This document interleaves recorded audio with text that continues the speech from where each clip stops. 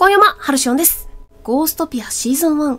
本日は第2話の途中、まだそこに座れないというお話からスタートしていきます。前回、さよこちゃんがなんで忍者って呼ばれてるのかよくわかる描写あったよね。警官からなんか攻撃をされた時にめちゃくちゃすごい脚力でジャンプしてたりとか、拳銃を警官から即座に奪ってやり返したりとか、体術とかもすごくて、そりゃ忍者って呼ばれちゃうよっていう動きをしてました。なんで、さよこちゃん普通の女の子ではなさげなんだよね。一体どういう人物なのか気になるところ。あと、前回歓迎会で呼ぶはずだった新しい住人さんにも会えずじまいだったので、今日のお話あたりでその子には会えるのかなっていう部分です。じゃあ、早速やっていきますか。今日も、俺と一緒にゲームの世界を夜回りしに行こう。スタート夜がさらに更けて、幽霊の6割は眠ったかな？いや、7割は寝たんじゃないかな？とか、そんな時間。この街の中では、駅舎と並んで最も大きな建物である教会の正面入り口に男は立っていた。男の格好は、教会にはそぐわない。油ぎった顔は、武将髭に覆われている。身につけているものもひどい。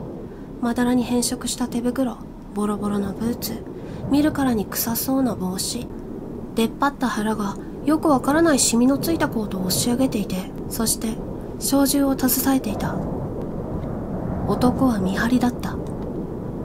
教会にはたまにあることだ。何かが動いている時は、教会には見張りが立つ。信仰とはおよそ関係のなさそうな男たちが銃を持ってうろつく。男たちは自らが何のためにそうしているかを知らない。でも、神父の命令なのだ。だから立っている。教会の中に誰も入れないために。神父は町のそういう勢力にも顔が利くのだった。男はもう見た感じから頭が悪そうだったけれど、メガネが必要ないくらいには目が良かったので、彼のもとに歩み寄ってきた少年には気づくことはできた。おい、今日は立ち入り禁止だ。男はたどたどしく立ち入り禁止の旨を伝えた。でも、お祈りがしたいんです。なんとかなりませんか？少年はどうやら内気な性格のようで、うつむきながらも男に懇願する。ダメだ。質問には答えない。通さない。男は肩にかけた小銃に手をかける。突きつけて脅すつもりなのだ。しかし、少年はたじろぐ様子を見せない。うつむいたまま、キャップを深くかぶって、表情は読み取れない。ただでとは言いません。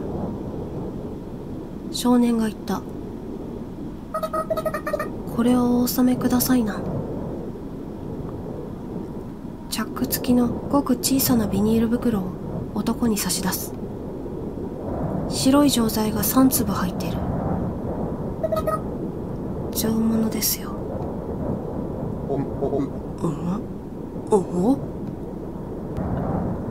お男は逡巡する。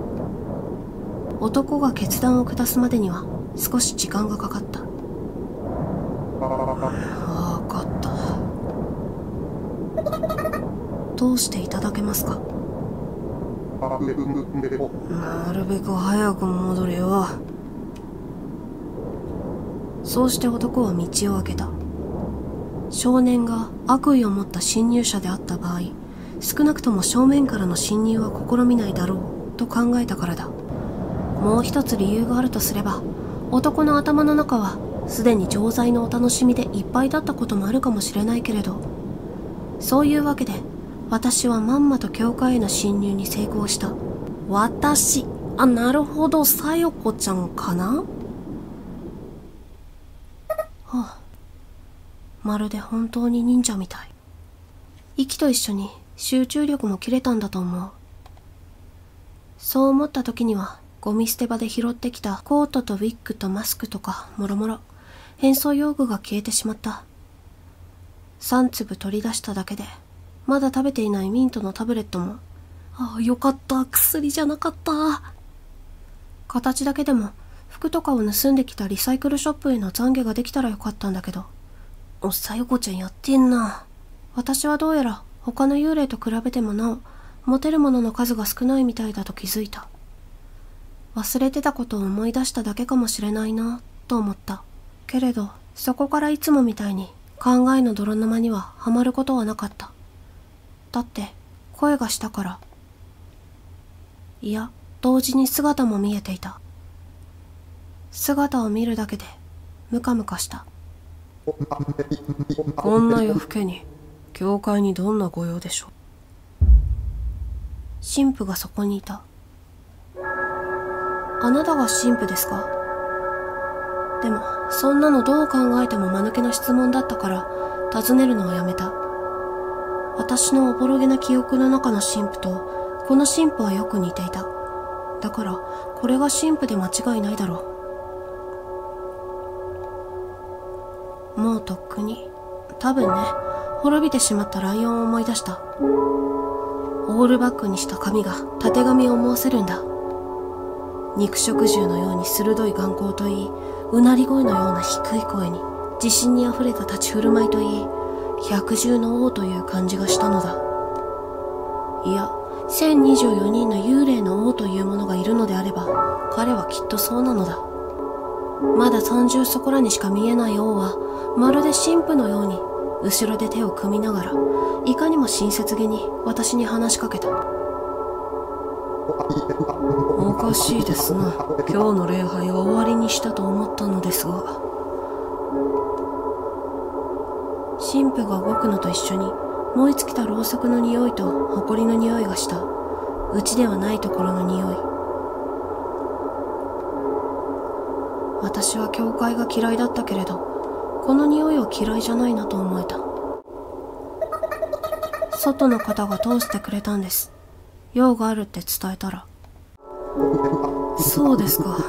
ルールはルール。ルールを守るための門番がルールを破らせる手伝いをしてはしょうがない。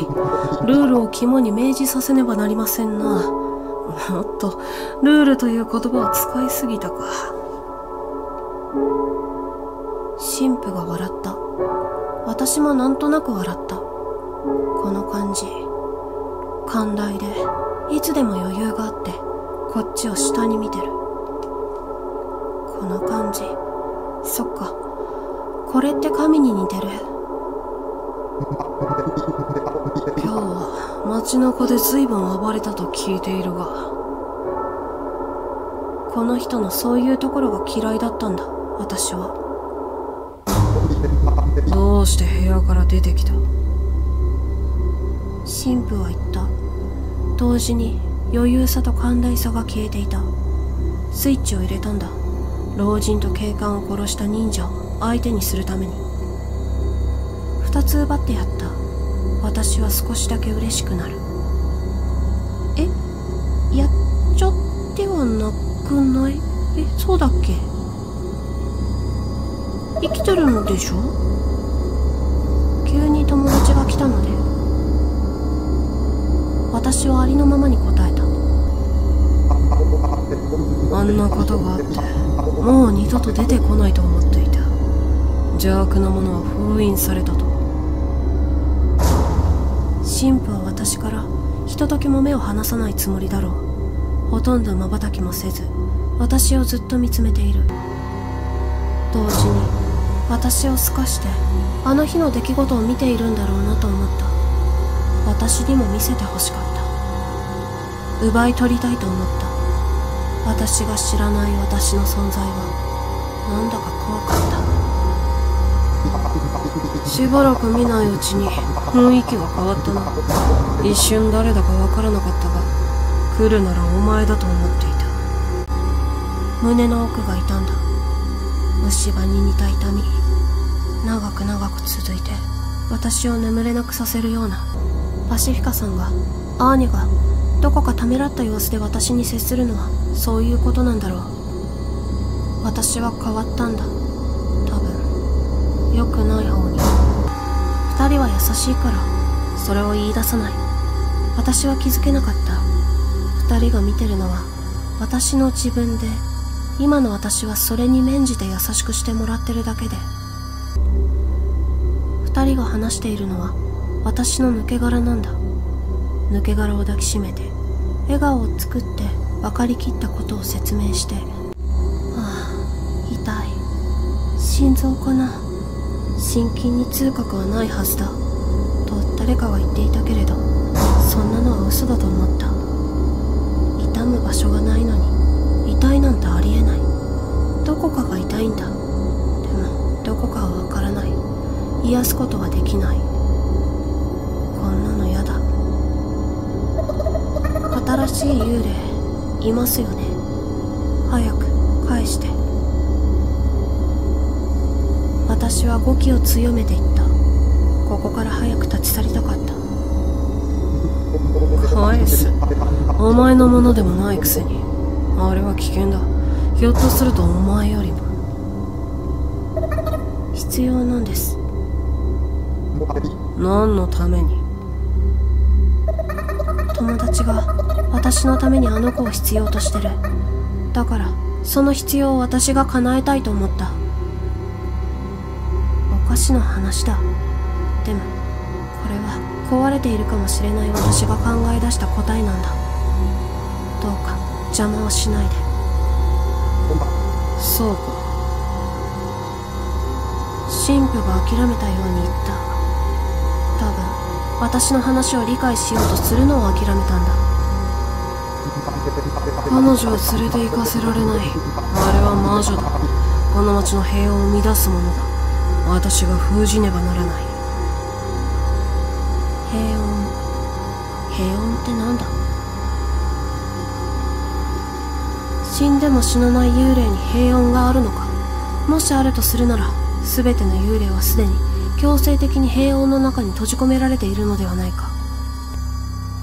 我々は神に試されている。許しを得られるその日までこの町の者たちが平穏を守りつつましやかに暮らすように導くのが私の役目だ。神父は私を見ている。手は後ろ手に組んだままでふんぞり返って私のことを警戒はしていたけれど彼は安心している。彼には心の拠り所がある。ここで日々を過ごす目的がある。満たされている。そんな奴に負けるものか。許しを得られた時我々は楽園に導かれるだろう。一人でも多くの者にその教えを広めることで我々はよりよく生きていくことができる。その時まで私は耐え抜いてみせる。罪を注ぐ一瞬一瞬は楽園への階段なのだ。空っぽの私でもそう思うことだけはできたんだ。空っぽの精一杯だ。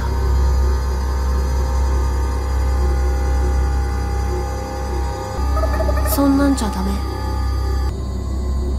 その時空っぽの私に何かが吹き込んできた。一瞬だけ窓の割れたパシフィカさんの部屋のことを思い出した。どこかで誰かから聞いた。人は理屈よりも物語に共感するからそれを使って頭のいい人はお金と尊敬を集めているんだとかなんとか。いつどこの話だったか思い出せない。こんなことばっかり。イライラする。だから神父の言葉を遮って私は言った。多分ね。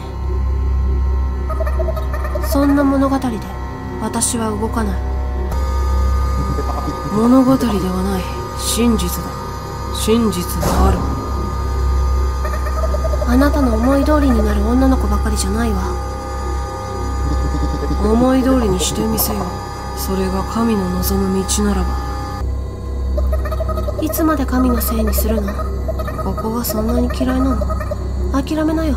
もう逃げ場なんかどこにもない。驚くべきことに私は笑っていた。喜怒哀楽ごちゃ混ぜの意味。そういえば喜んだ時も怒った時も悲しんだ時も楽しい時も人を笑うのだ。意味は違えど笑うのだ。大体の場合笑っておけば間違いないのはきっとそういうわけなんだ。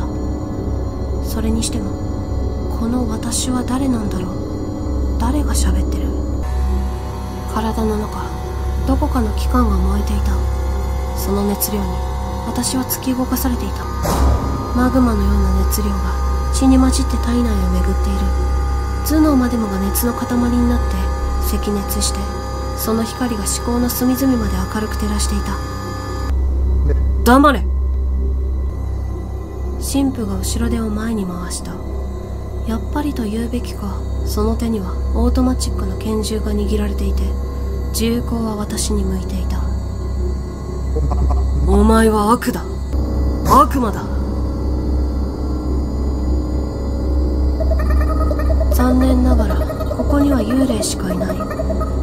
くせに生きてるみたいに振る舞うのは滑稽よ。魂は生きている。これからあなたを撃つあなたは復活する。そこには命も魂も関係ない。ただの法則ものと一緒。大事でも何でもない。実感すれば学べるかも。私はもっと大事なもののために動いているお前なんかに私の気持ちが分かってたまるものか。神父からは余裕も寛大さも上からの目線も根こそぎ失われていた。もうライオンには見えやしない。ただの男だ。ただの男だから銃に頼るんだろうな。神に銃はいらないだろうから。気分が良かった。私は満たされたような気持ちだった。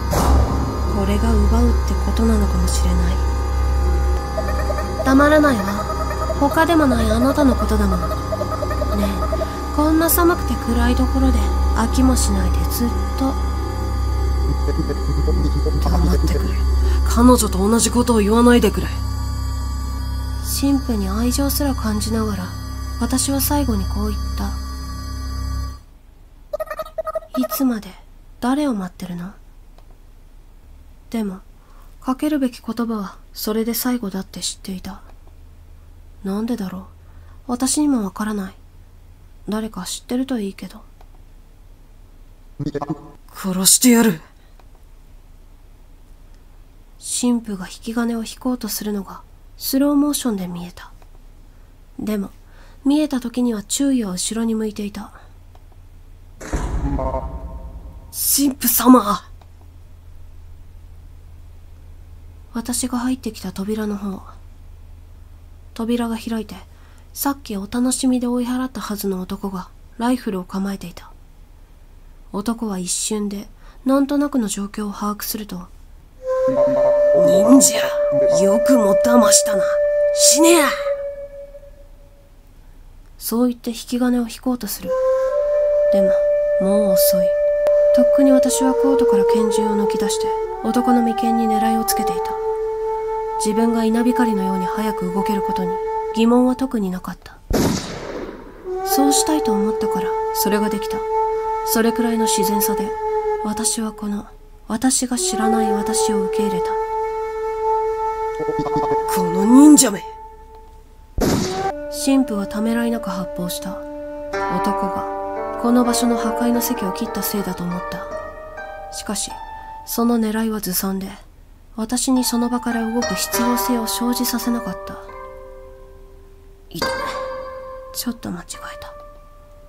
お前は何がしたいんだ？神父は言った。そんなのわからない。と私は思った。でも私は答えた。最初に言ったでしょ。地面を蹴った神父との近くない距離はすぐに埋まる。神父は結構銃の才能があると思う。でも避けられないほどじゃない。そういうわけで眉間に彼の部下警官から奪った拳銃を突きつける。会いに来たのよあの子に。目を閉じた。銃声。人間ほどの大きさのものが床に崩れ落ちる音。血が耳元でゴーゴーとなっていた。そこにいるのは誰？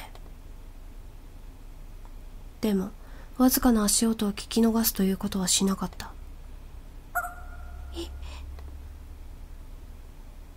文句なしに可愛い声。この声には聞き覚えがある。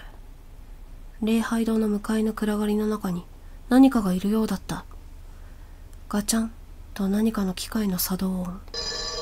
一瞬の間を置いてサイレンが鳴り始めた。火災報知器のレバーか何かを操作したんだろう。きっとほどなくして神父の取り巻きや警官が駆けつけるに違いない。クラーラそれ止めて。そうだ。彼女は確か教会に目を開けた。でもわずかな抗議の声が暗がりの中から聞こえてくる。私と友達になりたいんでしょ？それでも躊躇する気配。止めて。その気配に向かって当てずっぽうに発砲した。当たらなかったけれどそれでよかった。音が止まった。この手の放置機は手動でオフにできることを私は知っていた。暗がりに歩み寄った。逃げる様子はない。あるいはできないのかもしれなかった。足を震わせてもう精一杯という様子で立っているクララのそばに立った。さよこさん今なら今ならきっとみんな許してくれるから謝りましょう。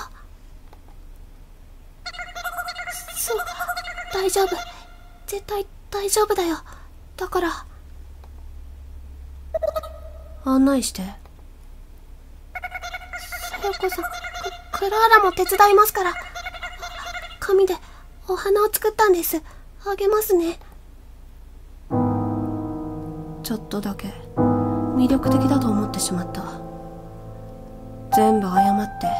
そしてみんなが私を許してくれて。私はクラーラみたいに愛される想像をしたからだ。でもそうしたらパシフィカさんもアーニャも私を嫌うはずだからお断りだ。そんなの絶対に嫌。案内してって言ったのようんこたれうわそれは痛すぎるだろ。小さな女の子にグーパンはないよさよこちゃん。私はクラーラの方を殴った。もちろんと言うべきかグーで。半メートルくらい吹き飛んでからクラーラは鼻血を流しながら起き上がろうとして手を地面について失敗した。三半規管へのダメージを受けたことがわからない様子だった。でも泣いてはいなかった。信じられないという顔をしていただけで。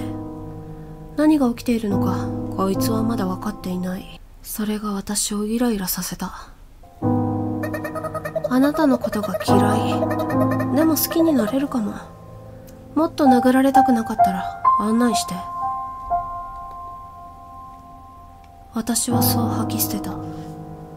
まあ本当なら殴るほど嫌いではないけども。クラーラは黙って起き上がった。垂れっぱなしの鼻血を拭うこともせず。そう。まるで幽霊みたいにか細い声で「こっちです」と言った。これが終わったら友達になろう。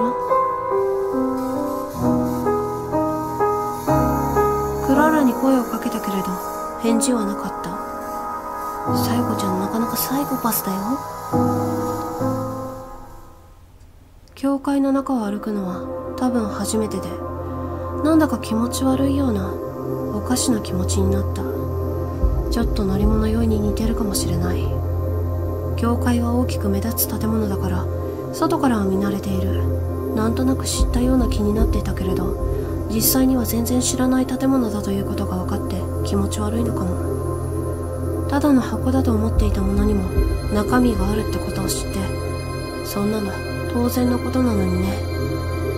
私も思っているほど自分に詳しくないよなと思う。自分で自分にびっくりすることの連続だ。私が私じゃないみたいな気もする。でも客観的に見た時これが本当の私なのかもしれない。でもそれは私に分かりようがない。なぜだかどっと疲れた。ダメだ。集中できていない。クララに突きつけたままの拳銃が重い。階段を登るのが辛い。何階建てなの？この建物。4階建てです。今いるのは3階。各階をつなぐのは中央階段のみのようでそれは脱出のルートがかなり限られていることを意味していた。歩いているうちにクラーラの話は止まったみたいだった。もはや帰りのために道順を覚える努力をすることなく私たちはずんずん進んだ。私もクラーラも黙っていた。ここです。クラーラがドアの前で無機質にそう言った。人間とは思えないまでも人間にかなり近いロボットくらいに見えた。クラーラの頭の中は今いつもの私と似た状況なんじゃないかと思った。クラーラの背丈は私とほとんど変わらない。髪質は違うけど髪の長さも。私もこんな風に見えているのだとしたら不気味なやつだなと思う。先に入って。いろんなことを考えたけれど私の口から出たのはそんな言葉だ。はい。クラーラがドアを開けた。そして手を合わせてお辞儀をした。私に気を使ったのだ。と一瞬遅れて理解した。お邪魔します。ドアの間から暖気が流れ込んできた。暖房が焚いてある。誰かいる。そうだ。私はこの人に会いに来たんだ。します。クララの後に続けて私も思わずそう言った。恐怖みたいなものがにわかに私を支配していた。だってここまでして会いに来た相手が私のことを肯定的に捉えているとは限らないし自分を軟禁してくる教会とそこに人質付きで押し入ってきた銃を持った女どちらを信用する気になるか私には推し量りがたいところだ。そもそもその子がどうにも好きになれない感じの子だったらどうしよう。仲良くできるか自信がない。いやそもそも向こうにとって私がいけすかないかも。ううん。声がした。知らない声。新入りの子だ。とっさに私はうつむいた。お客さんです。寒かったでしょ？入って入って。えっと後ろにいる人も。反射的に顔を上げた。フラッシュバックのようにいろいろなことを一瞬で考えて一瞬で忘れた気がした。あこれって緊張なんだと気がついた時にはもう彼女が視界に入っていた。もっと心の準備をしてから会うものだと思っていたけれど実際にはいろんなことはそうだずっと急なんだ。緊張しすぎて視界がぐんにゃりと歪んだ。歪んだ視界にいろんなものを見た気がした。雨とか学校とか夏の暑さとか誰かと一緒に笑ったこととか夢の中の出来事みたいに全部浮かんでは消えた。なんで？どうして？怯える私はもういつもの私だった。怯えているのって落ち着くんだと思い出した。おめでとう。彼女が私を見ていた。その顔は少なくとも微笑んでいた。お待たせしました。緊張しすぎたのか変な返事をした。おめでとうにお待たせしましたなんて変だ。でもその瞬間にだけそれはしっくりきていたのかももうわからない。私が微笑んだのとそれは関係があったのかもしれないけどなかったのかもとにかく二人して笑っていた。もう怯えてはいなかった。彼女のパシフィカさんとは違う意味で大きな目とか女の子らしい丸みのある方とかその見てるだけで幸せになりそうな笑顔とかそんなものをしばらく見ていた。何かを確認するためにそうしていたような気がした。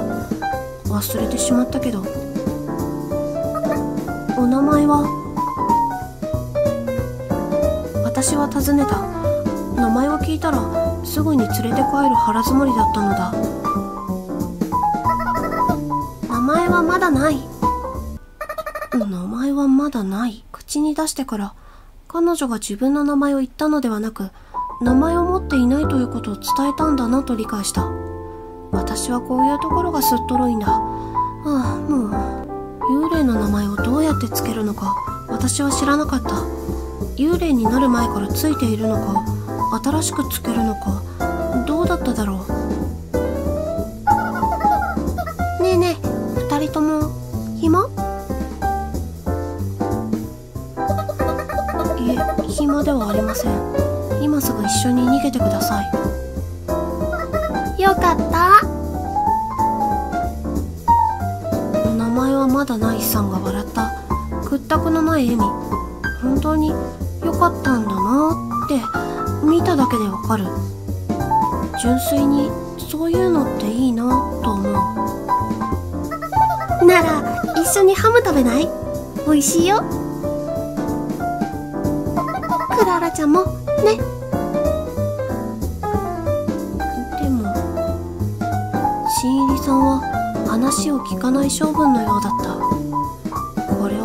れは純粋に良くない。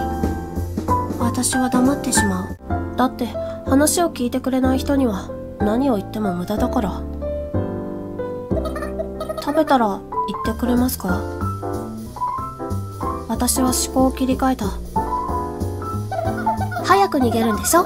早く食べれば早く逃げれるから OK だよね。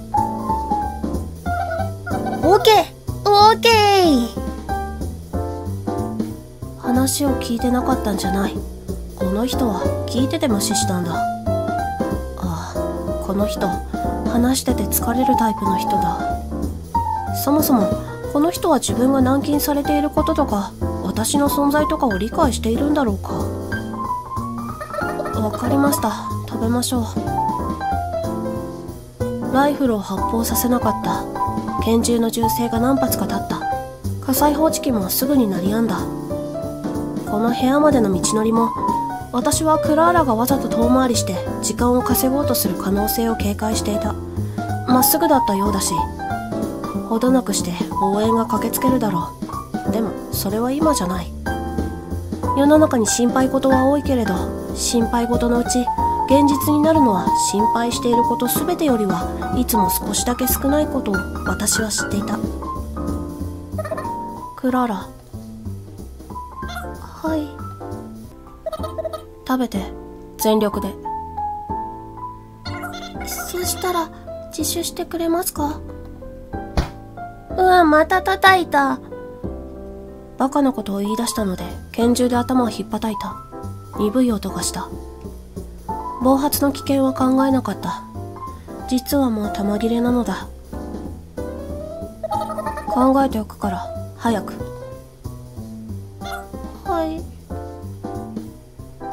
ちょっとかわいそうになってきた。クラーラの鼻からはまた血が流れ出していた。じゃじゃーん。机の上のハムは骨がついていてちょっと離れていても燻製な香りが漂ってきてそして何よりもその大きさに私は圧倒された。この町で肉は貴重品だ。ハムは死んでるからこの町にあって間違いはないのだけどしかしフリーズドライの肉や缶詰冷凍の肉ならいくらか出回っているけれどここまで肉な肉はほとんどない。あんないい家に住んでいるパシフィカさんでさえ買わないだろう。一人で食べきるには大きかったからね。二人が来てくれて助かったよ。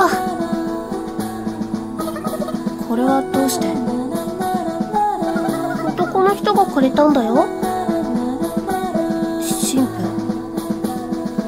父俺神父なんだねあの人。なんか笑えるね。テーブルについてな私は隣に座らせたクラーラに銃を突きつけていた。名前はまだないさんはそれには一切触れなかった。無視しているのかそういうものだと思っているのか。どんな相手にも特徴がある。特徴さえ分かればそこから理解するのはできるかもしれないけど特徴をつかませないのが特徴の人もいるからねとぼんやり思った。クラーラは目の前のごちそうに対して明らかに食欲を抱いていなくてそれは私もそうだったんだけどこれじゃあハムはすぐになくならないなと思った。だから早く食べたら銃を突きつけるのはやめてあげる。いただきます。ラーラがハムを切り分けるナイフに手を伸ばした。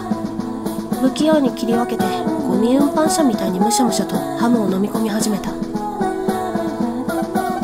おおいい食いっぷりだね。名前はまだないさんが歓声を上げてクラーラのグラスにボトルの中身を開けた。いただきます。そして私もハムに口をつけてただきます。名前はまだないさんも食べ始める。やっぱりハムは高級なものでそれだけですでに美味しかったんだけどそれ以上に美味しい何かがある気がした。私にしては珍しくちょっと考えただけで答えが分かった。もう外は寝る時間なんだ。朝が近い。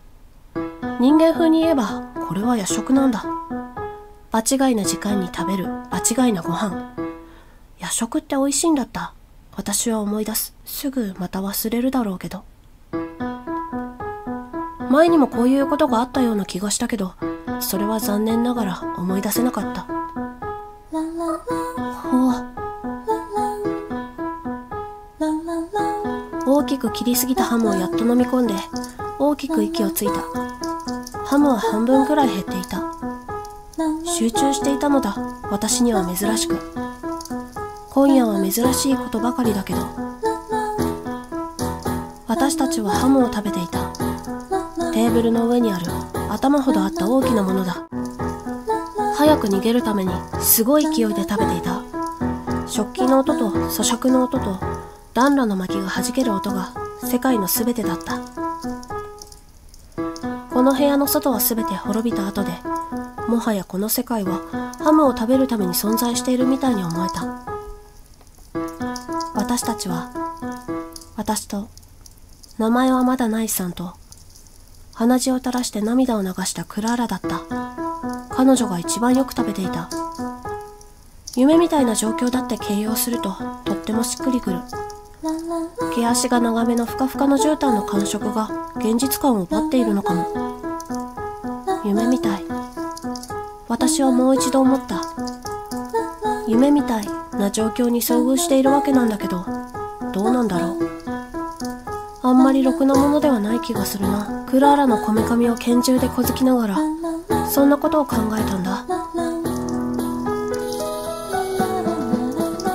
そういうわけで私たちはやっと巨大なハムを消化し終えた。うん美味しかったね。満足そうにお腹をさすっているのは名前はまだないさんで私と多分クララは吐き気を抑えるので精一杯だった。名前はまだないさんは早々にお腹いっぱいになってしまいごちそうさまとのたまった。その後はひたすら食べる私たちによく食べるね美味しい？とか声をかけるだけでほとんど私とクララで平らげたのと同じだった。さてと椅子から立ち上がって名前はまだないさんがパンと手を払った。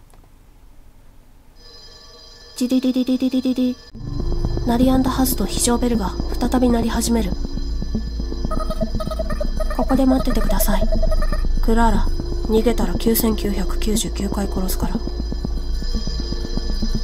私は部屋を飛び出して外の様子を探った。この階に気配を感じない。下の階だ。神父の死体はもう見ているはず。私の仕業だということも分かっているはず。私が応援部隊なら徐々に上階に追い詰める方法を取るだろうと思った。時間がない。部屋へと駆け戻って新入りさんとクラーラを連れて部屋を出た。あスーツケース。部屋を出た途端名前はまだないさんがそんなことを言い出した。ダメです。邪魔になるから私は困った。彼女の荷物まで守ることのできる保証はどこにもないからだ。いつか取りに来れる？私は嘘をつくことにした。いつでも取りに来れますよ。ならいいや。嘘も方便。何でもないです。開花から銃声がした。死体が見つかったか。一発の銃声に続いて他の銃声がいくつか。それから何かが壊れる音。銃声はショットガンっぽく聞こえたけどもしそうなら嫌だな。多分私は何かと見間違えたんじゃないかと思った。もっと冷静になればいいのに。でもそれくらいに忍者を恐れられているに違いない。望むところだ。いいだろう。お前たちが忍者だというのならやってやろう。そういう殺伐としたのはシンプルでいいかもしれない。どうせ私たちは死人なんだって強く意識できて銃声が止んだ。男の声。揉めているのか。クリアリングの真似事をするのもいいけど。静かにやるべきだと思うけど。下はヤバそうだけど。名前はまだないさんがぼんやりと言った。大丈夫。私は続けた。上に行きましょう。下がダメなら上に行くしかない。ふふふ。忍者の底力を見せてあげよう。名前はまだないさんを先に行かせて私がクラーラを追い立てる形で最上階への階段を登った。クラーラが転んだ。多分わざとではない。いつの間にか止まっていた鼻血がまた出ていた。鼻血で失血死するつもりなのかも。こっちだ。4階だ。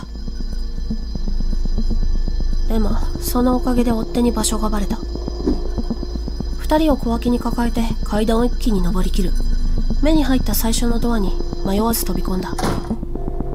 すぐに追ってこなかったのは大人数で一気に畳みかけるつもりなのとどのみち中央階段さえ塞いでしまえば袋のネズミにできるからという考えだろう。圧倒的に正しい考え。その上を行く方法を考えなくては。この部屋は神父様の部屋です。そっか。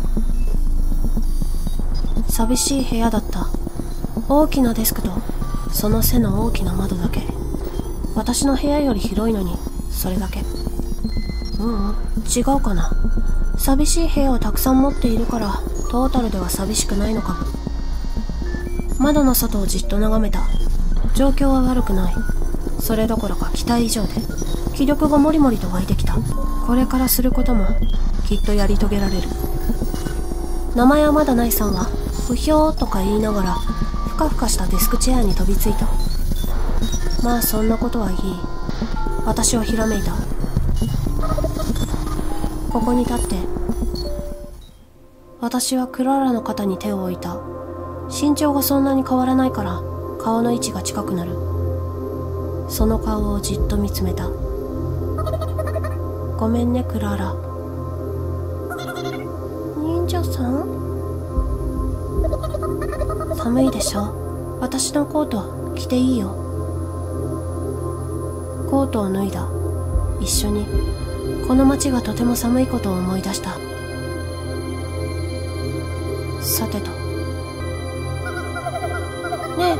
どうするの？どうやって逃げるの？名前はまだないさんの言葉に答えている暇はなかった。何か言い残すことは？デスクの陰に身を潜めながら聞いた。もちろん銃は向けたままで目は離さない。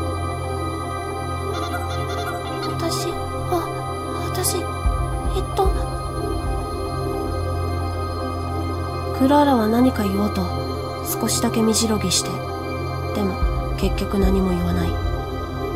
だらだらと時間が過ぎた。名前はまだないさんが心配そうにこっちを見ていた。何か安心させられるようなことを言いたかったけど口から出たのはどう考えたって頼りない言葉だった。大丈夫ですから。そういった時には遠かった足音はもうすっかり近づいていた。6名から8名ほどの男たちしかもライフルか何かの重火器を対抗していると思って間違いないがもうこの部屋のドアのすぐ向こうにほら何か言い残すことは私が首だけをこっちに向けた。ごめんね。でも、これで私たちは対等なんだと思う。違う。これは私じゃない。私の格好をして、私みたいな髪型にした。ただのクラーラだ。でも、割ときつい。また会うと思うけど、その時は友達になれるかも。でも、私に似てた。いつか分かってくれたらいいけど。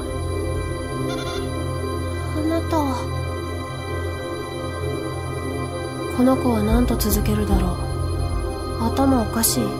倫理に反する確かにね。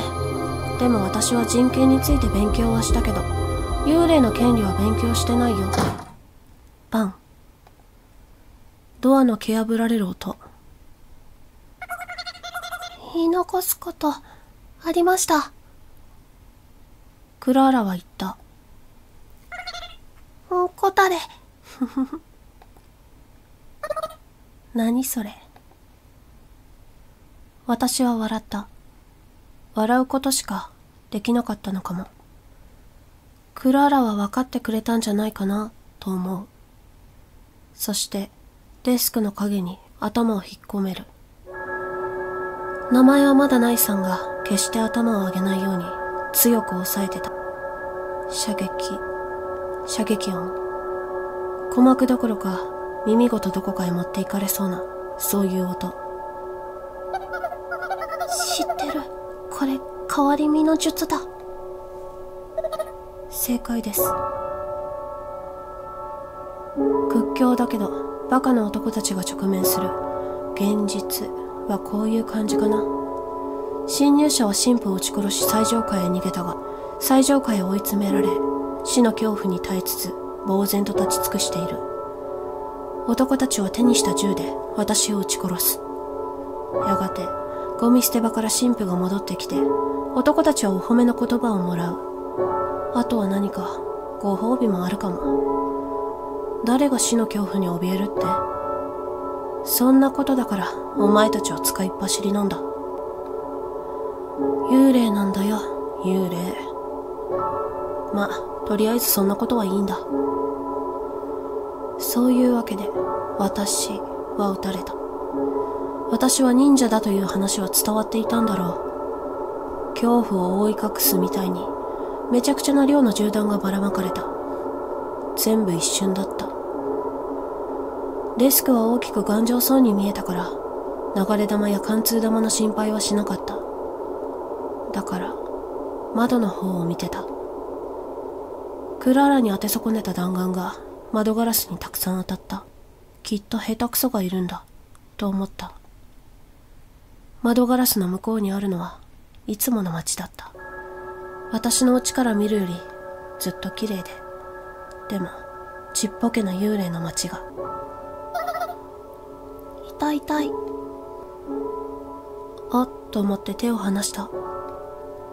名前はまだないさんは、分かってるよ、という風に、素早くコクコクとうなずいた。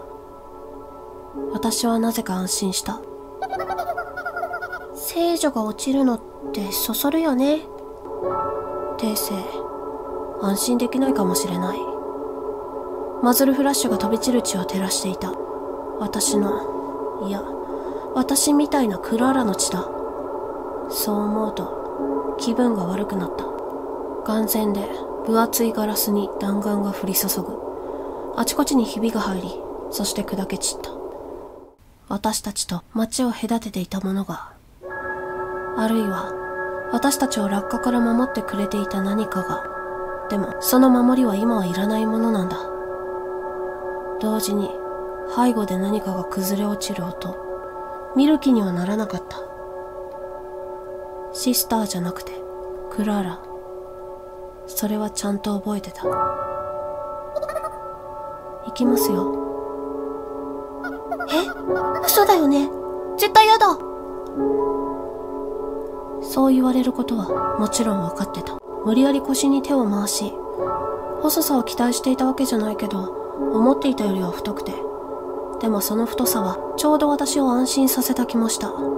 半ば抱えるようにした。合図で行きます。嘘って言ってよ、ね？はーい。キャンフラーい。キー立ち上がった私を見て、反射的に引き金を引いた男が一人。でも、その狙いは甘すぎるみたいで、弾は当たらない。他の男たちも後から続こうとするけれど、もう遅い。私たちは悠々と、名前はまだないさんは、やだーと泣き叫んでいたような気がするけど、身を投げた。教会の頂点、神父の部屋の大窓から身を投げた。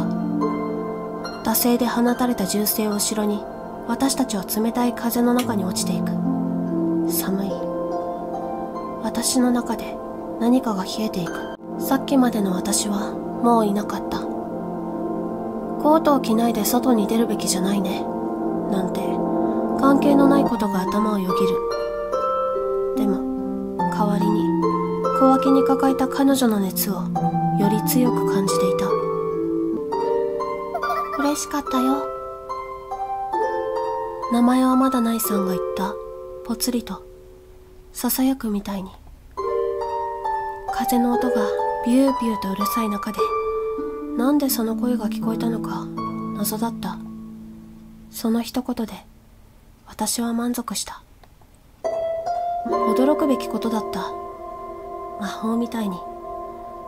やっぱり彼女は魔女なのかも。今夜のどんな苦労もこの寒さも全部いいことになった。私の国にあった成仏という概念を思い出す。別に普通ですよ。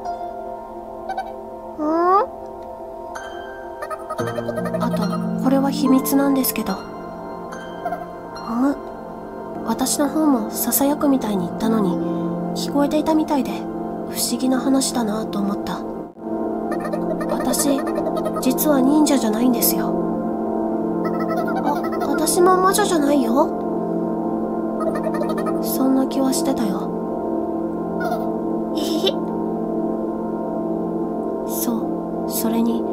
ちているにしては長いこと話し込んでしまった気がするけど、これらは一体どういうことなんだろう？でも、さすがにそろそろ地面だったので、私はアーニャが運転する装甲車の上に着地した。着地とは？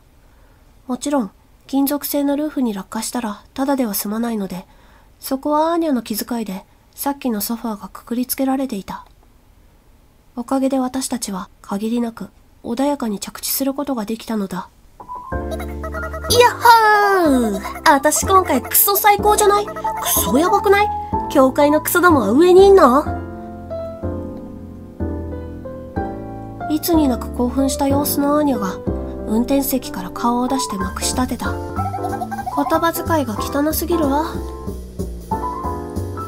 パンと何かをはたく音アーニャのうめき声早く乗って。助手席から今度はパシフィカさんが顔を出して私たちを促した。同時に銃声がして車の数メートル先まるでデタラメな位置で雪がはじけた。狙撃される前に乗れって。私と名前はまだないさんは車の後部座席に飛び乗った。同時に金属が弾けるような危なげな音がして多分それは銃が当たった音に違いなかった。でもこれは装甲車だ。全然無敵だ。今の私たちとちょうど同じように。車に乗るのはとても久しぶりだった。低くうなるようなエンジンの音が懐かしくて私は思わず聞き入ってしまっていた。誰も喋らなかった。後ろからパトカーのサイレンが聞こえていたからしばらくしてパトカーのサイレンが聞こえなくなってアーニャがどこかの路地裏に車を止めたそれでもみんな黙っていてだからついに私はアーニャに声をかけたあの、アーニャ。うん？たよね。そうだけど。これとは思わなかったよ。まだあったんだ。あったよ。もったいないだろ。だって。ごめん。謝るなよ。アーニャがいてよかったよ。そいつはどうも。アーニャが息を漏らした。笑おうとして失敗したように思えた。そうだったらいいな、と思った。なーに二人でいい感じに仲直りしてるの？何よ電話って？私のところには来なかったけれど。パシフィカさんがどこかから取り出したスナックの袋を開けた。走行車にスナックというと似合わない感じがするけれど、どういうわけかそれはしっくり似合って見えた。パシフィカさんの電話番号わからなかったし。そんなのアーニャに聞けばいいじゃない。急いでたんです。あの後、変装に使うものとかを用意しなきゃいけなかったし。変装用具？変装して、見張りの人にお楽しみとか適当言って、ミントタブレットを渡して入れてもらって、神父の頭の風通しを良くして、シスターを蜂の巣にしてきた。言ってしまってから、まずいと思った。私が起こしたのは、ちょっとした襲撃事件で、一般的な倫理観からはかなり距離がある。私が二人だったなら、果たしてすんなりと肯定できるものだろうか。きっと二人は、もっと穏便なものを想像していたに違いなくて、そういう風に嘘をつくこともできた気もするけれど、それはしたくなくって。マジか。お前と友達でよかったわ。アーニャはあっさりと言った？ありがとう。だから、私の返事もあっさりだ。アーニャが、まあ優先順位ってものがあるしな、と、もごもご口の中で言っていた。ねえ、さよこちゃん、飛び降りるから教会の表に車で来てほしい、だっけ？パシフィカさんの家から帰ってすぐ、私はアーニャに電話をかけていた。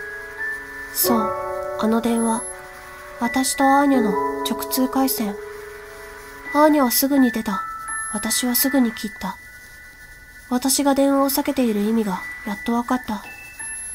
私ってきっと電話が苦手なタイプなんだ。赤毛のアーコーにそれだけ言って伝わると思って私に相談しに来て、この子なんて言ったと思う？はいはい、これってどういう意味って言いました？そうね。言葉の通りに行動してたら、今頃みんな捕まり放題よ。お分かり？パシフィカさんが二つ目の袋を開ける。名前はまだないさんがそれに手を伸ばすけれど、その手はピシャリと叩かれた。キャだから相談しただろ？ソファーをくくりつけるように指示したのも私。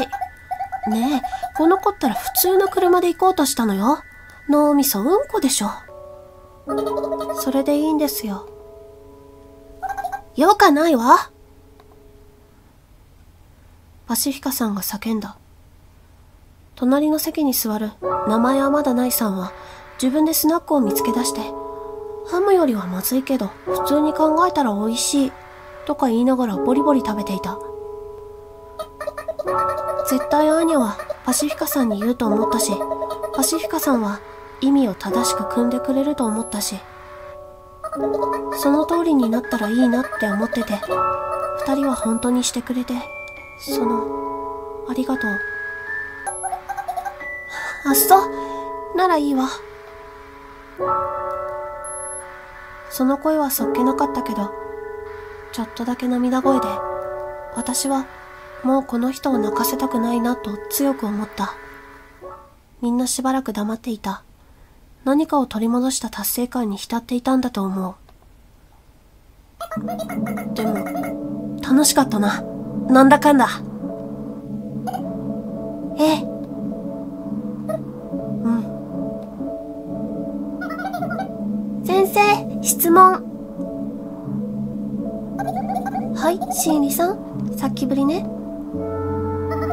あうん。この車ってどこに行くの？わからん。ここから先のことを誰も考えていなかったみたいだった。確かに連れ出すことしか考えていなかったなと思う。どこにしようさよこちゃん。そう尋ねられて。私は比較的すんなりと答えた。街の外。ほんの少しだけ空気の温度が下がった。マジで言ってる？いやまあわかるけど。あの日何があったのか私覚えてなくて。だから思い出しに行きたいかなって。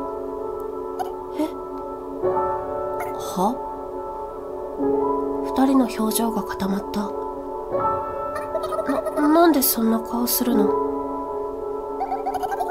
私たち覚えてないのよ何かあってそれであなたをそのさせてしまった原因を私たちは覚えてないの。うんちょっとは覚えてるけどでもさよ子は覚えてると思ってたんだよ。私ら。違うよ覚えてない。覚えてることもあるけど覚えてないことも多いし。私は動揺した。いや二人もきっとそうだと思うのだけれど。名前はまだないさんが不思議そうに私たちの顔を代わる代わる覗き込んだ。そうだ彼女が蚊帳の外だ。説明してあげなきゃいけないな。今じゃない時に。よーし思い出しに行こう。アーニャが言った。えー、どこまでも行きましょう。パシフィカさんが同意して。はい。私も右に習う。街の外説明とかされてる？幽霊のこととか。ううん。私たちは幽霊で不老不死でこの町に閉じ込められているんだけど暇だしどさくさ紛れに外に行って限界を超えようって話。パシフィカさんが無理やりに話をまとめた。あまりにもざっくばらんで普通共感は難しいだろん何それファンキーだね。名前はまだないさんは普通ではないので問題なかった。それはもうここまでの道のりでよくわかっていた。パシファンキーってなんだ？ファンキーはファンキーよ。はあ？彼女とはうまくやれそうだなと思うことができた。行く行く。面白そうだしね。出発！アーニャがアクセルを踏み込んで車が急発車する。雪に覆われた路面でもこの程度でこの車はへこたれたりしない。胸が高鳴った。そういえば私は幽霊のくせに鼓動はあるみたいだ。今度の誘拐犯の人は面白そうでいいな。出し抜けに名前はまだないさんが言った。誘拐犯？第一。あなたたちの名前も知らないよ。だって私何の説明も受けてないでノリでついてきただけだしさ。誘拐みたいで楽しいよね。誘拐？にわかに車内に緊張感が走った。そうなのだ。これはほとんど誘拐だ。でもパシフィカさんもアーニャもそれを知らないしかして説明しないで連れてきたの？この子もなんでついてきたの？ハムを食べるのに忙しくて。ハム？あ大丈夫。いい意味の方の誘拐だから。いい意味ってなんだよ。あの教会の人はこの町がどんなとか教えてくれなかったし。女の子といる方が楽しいしみんないい人っぽいし。それならいいわね。だっていいんだから。名前はまだないさんが納得しているならそれでいいのかな。しばらくみんな無言になった。窓の外の風景はどんどん寂しくなってグラデーションみたいにいつの間にか何にもない雪原だけになっていた。街の外。この先には何があるんだろう。歓迎会をしなきゃいけないわ。アシフィカさんが言った。スナック越しにはもう飽きたみたい。歓迎会？それをやるために集まったのよ。歓迎会に拉致されるところだったんだね。わおサプライズパーティー。ありがとう。れなんですけど歓迎会じゃなくてお誕生会にしませんか？その方がもっとお祝いっぽいし。幽霊のお誕生日会？熱いねそれ。誕生日プレゼントに名前をあげたらどうかなって。素敵。さよこちゃん才能あるわね。何の才能だろう？私たちはケラケラと笑った。でもアーニャは黙っていてそれは運転が大変だからなのだと思っていた。どうやらそうではなかった。さてここで残念なお知らせだ。咳払いとともにアーニャは言う。この車はどこまでも走れるようにすごいエンジンを積んですごい燃料を積んでいる。どれくらいすごいかというと各部の摩耗を抜きにすれば無補給で半永久的に駆動し続けられるくらいすごい。っていうかぶっちゃけ兵器みたいなもんだよこれ。が調子悪いっぽくて残念でしょうがないんだがえっと爆発する。急に。逃げなきゃ。ダメだ。あと30秒もない。爆発は半径数百メートルに及んで地表がめくれ上がって死の灰が降る。これは客観的な現実だ。よって現実的な対応策として誕生会を30秒で済ませることを提案する。逃げよう。なおさら早く降りないと。爆発は半径数百メートルだ。パシ諦めてベストを尽くせ。25秒。わかったわ。ではプレゼント想定のコーナーです。22秒。えっ、とあなたの名前はハムじゃなくてえっと18秒。夜。夜さん夜に会ったから夜。とっさに考えたにしてはいい名前だったんじゃないかと思う。そりゃ幽霊は夜のものだからあの町の幽霊はみんな夜さんになっちゃうかもしれないけど。でもこの人たちには漢字っていう概念がないからそれは永遠にバレないだろうなと思う。なんだか愉快だ。私の中に彼女がいる。彼女は私の中にいる。私だけの秘密とか思っている間に時間は過ぎる。あストレートでいいわね。そのまんまって感じ。いいわ。その調子よ。いい名前。最高だ。10秒。夜さん誕生日おめでとう。7秒。大事なことがたった9秒で終わった。でもその慌ただしさは現実っぽくて安心する。お友達になりましょう。4秒。時間の流れは温度みたいなものだ。滞ることは冷たくなると同じで。これからよろしく。2秒。だからこの慌ただしさはなんだか戦い。幽霊の街へようこそ。幸せの温度。ありがとう。はいおしまい。すごい温度感についていけないよ。かくして私たちの物語が始まった。そんな気がした。一応始まるんだね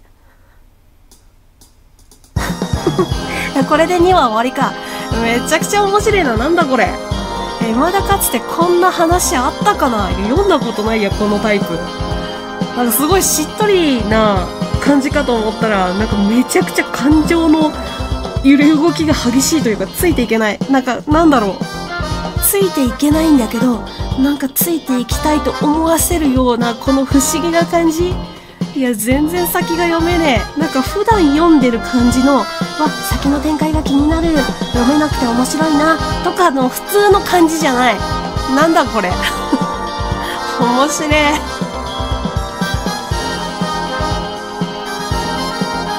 結局、夜さんは唯一の人間なのかな？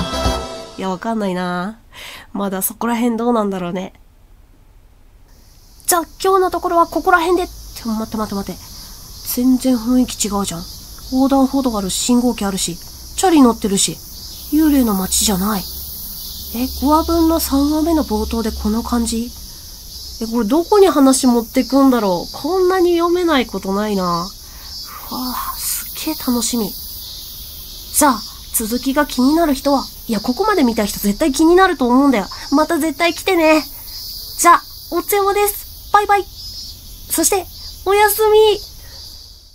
チャンネル登録と高評価、よろしくな。これで契約完了じゃ。